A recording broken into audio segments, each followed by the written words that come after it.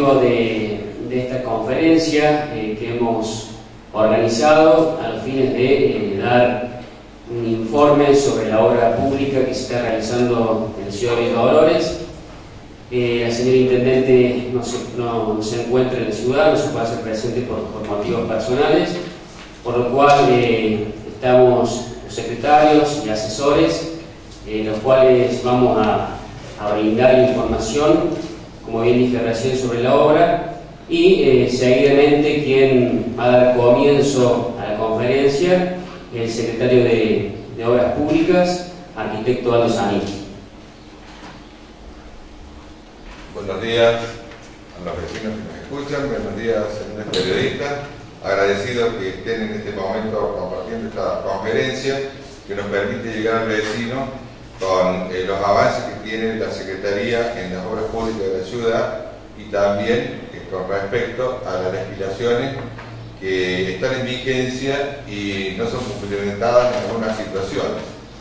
En primer término quiero hacer un llamado de atención a los vecinos, dado que en este momento eh, eh, hay una línea de créditos blandos para la construcción de viviendas, tanto sea de bancos públicos como privados, eh, a 30 años, que hace apetecible, ¿no es cierto?, y posible para los vecinos concretar el sueño de la casa propia.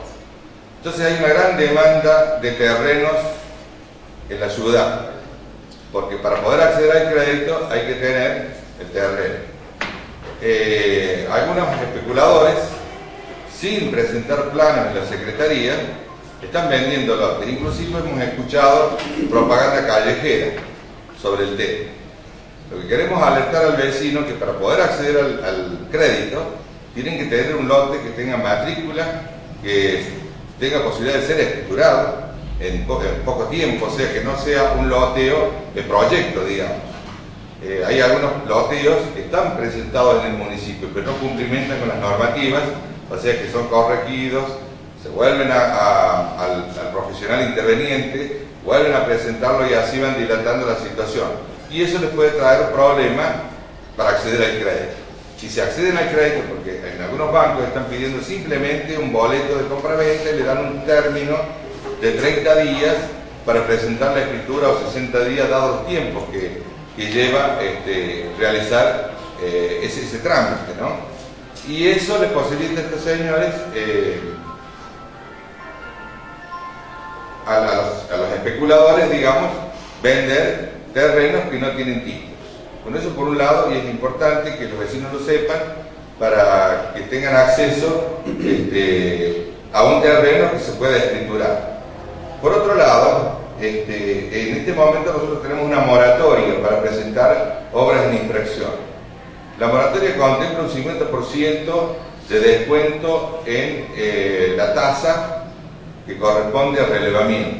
Es muy importante pero solo este, para las viviendas que tienen más de 5 años de existencia, para evitar la especulación también eh, por parte de los propietarios y más que nada los profesionales, que eh, bajo la figura del relevamiento eh, obvian su responsabilidad civil sobre la obra, que la gente no conoce. Por eso, este, desde ahora, vamos a poner en vigencia una ordenanza, lo vamos a presentar la semana que viene, este, donde en el plano de relevamiento diga la obra ha sido construida bajo responsabilidad del propietario, para que el propietario sepa lo que está firmando. Y en los planos de proyecto, el profesional va a tener que declarar bajo juramento, que eso es una ley provincial y muchos no la cumplen, de que cumplimenta con las normas CONCAT y CIRSOC 130, que son las normas antisísmicas de la provincia de Córdoba, y nosotros estamos en la zona 2, que es una zona este, donde puede haber un evento sísmico.